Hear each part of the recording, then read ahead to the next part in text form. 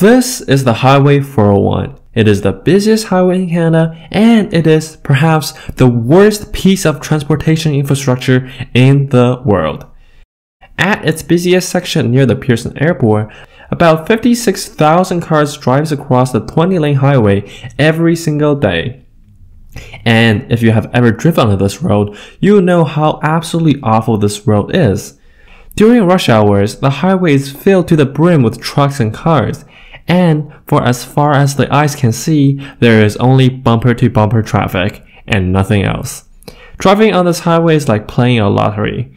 But instead of having a chance of receiving a prize, you get the chance of spending hours of pain and suffering from sitting in a traffic jam. This highway is truly an engineering monstrosity. So the question arises, why is there so much traffic on this highway? And what can the Ontario government do to fix it?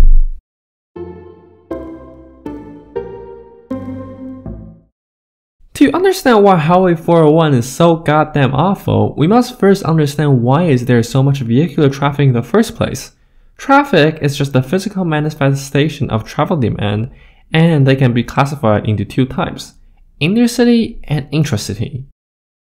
Intercity trips are people traveling from one city to another, while intracity trips are people traveling from one part of the city to another, or, in the case of Toronto, from one suburb to another. 401 is constantly jam-packed with cars because all the intercity and intracity trips are forced onto one single highway. See, the Greater Toronto area only has three highways, the 407, the 401, and the Gardiner.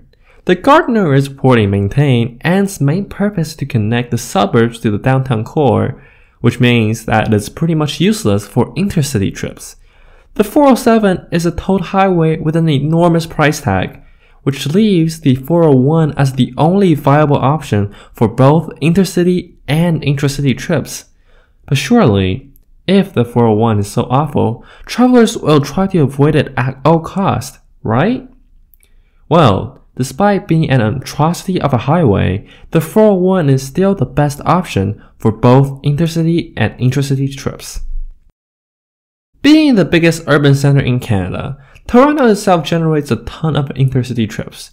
Every day, approximately 20,000 cars drive from Toronto to Montreal. But that's not all. Being at the heart of the Quebec City Windsor corridor, Toronto is the bridge that connects southwestern Ontario and the rest of Canada. Yet, despite being such an important transportation hub, Toronto severely lacks travel options for intercity travelers. So, faced with the lack of better, more efficient travel choices, driving on the 401 became the only viable mode of travel, cramming literally tens of thousands of intercity travelers on one single highway. But one cannot blame intercity travel demand alone for the amount of traffic on the 401.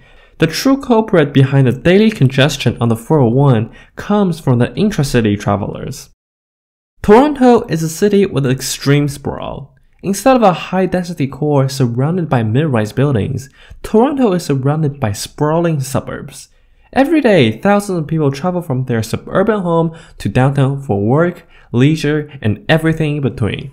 To cope with this, Toronto has created a robust public transit network dedicated to commuters, allowing them to travel from suburb to downtown with ease. But if you want to travel from one suburb to another, you're completely out of luck with public transit you will have to drive and your only option is the 401. And due to the recent housing crisis, downtown Toronto has become unaffordable not only for renters but also for corporations. So, instead of establishing their offices downtown, companies are moving their offices into the more affordable suburbs, thereby shifting travel demand away from public transit and onto the 401, this problem will only get worse as Toronto real estate prices continue to climb into unthinkable level. So, how do we fix the 401? The obvious solution is to build a wider highway. After all, traffic jams happen when travel demand isn't met with enough supplies. In this case, the travel demand exceeds the supply provided by the Highway 401. Thus, the most obvious solution to fixing the highway is to increase supply, right? As it turns out, increasing road supply is a horrible way to fix traffic jam. As I explained in a previous video on induced demand, increasing road supply inevitably leads to an increase in demand, which will create more traffic jam in the long run. The solution to fix 401 has nothing to do with the highway itself, the secret lies in decreasing the travel demand. Whether it is by land, sea, or air, travel demand that caused this nightmare will always exist. It is possible to decrease travel demand on the 401. Trains, for example, are way more efficient at transporting people than cars, and Via Rail only serves about 2,000 passengers per day on its corridor trains. By establishing a more frequent, unhindered train service between major Canadian cities, travelers will naturally turn to trains as a more comfortable and affordable choice. As for the intracity travelers, it is up to the respective regional transit agencies to do their jobs. Better public transits must be established between different GTA suburbs. BRTs and LRTs are way more efficient at transporting people than cars. And as more and more people live and work in the suburbs, diverting travel demand away from the 401 using public transit is a must. Through no fault of its own, Highway 401 is the absolute worst highway in the entire country. The daily traffic jam caused by the cycle of induced demand and the lack of better travel option makes it a nightmare for travelers. And unless the Ontario government invests in better modes of transport, it will continue to be a headache for everyone who drives through it. Hey folks, thanks for watching yet another video. If you have enjoyed, please consider to leave a like and subscribe. As always, this is the Transportation Channel, and I'll see you next time.